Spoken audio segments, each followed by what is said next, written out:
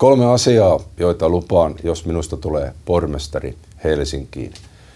Diabeteshoitajia tarvitaan lisää. Diabetes on kansansairautemme ja siihen pitää panostaa yhä enemmän. Toinen asia, minkä lupaan, on omaishoito. Kodinomaisessa turvallisessa ympäristössä on aina parempi olla kuin lähteä sairaalaan, kylmään sairaalamaailmaan. Ja omaishoitotyö on arvokasta työtä ja siitä pitää saada kohtuullinen korvaus.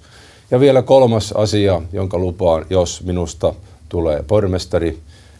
Haluan, että meidän esikoulut ja yleensäkin koulutus, siihen panostetaan enemmän.